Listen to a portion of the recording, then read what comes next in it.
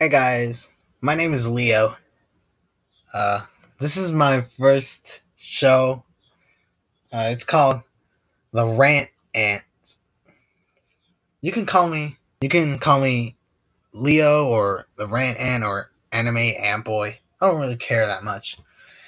Uh, I like to watch anime and play video games, you know. Your usual high school student. And uh, today I want to be talking about the PS5 and Sony and how both are not doing so well. Yeah. So, uh, for those of you who don't know, Sony's PlayStation 5 has been selling out real fast ever since its launch. I mean, I haven't really been to the to the section where they in any store where they sell PlayStations 5, but but but I've been but I've been reading news articles that say that Sony's play that the consoles have been selling out like really fast.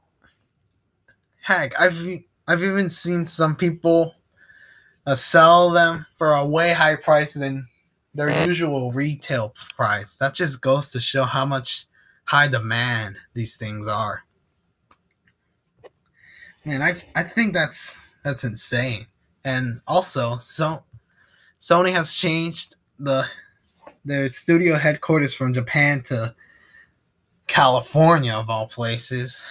Cause why not? There's big there's big budget companies there, so yeah. Man, I don't think it's a good idea.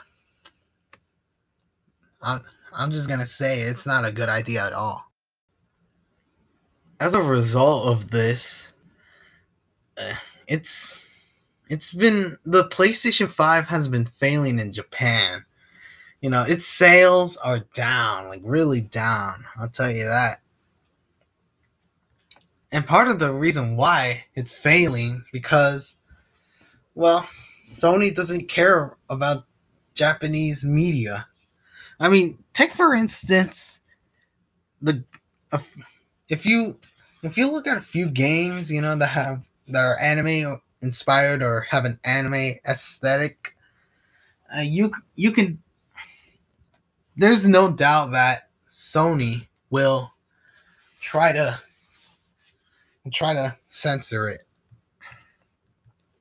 and then that'll just deter many Japanese audiences from there. I just I don't think there's a bright future for Sony here from here on out. I don't know.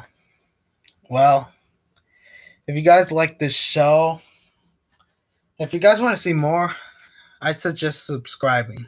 And until then, have a nice day. I hope.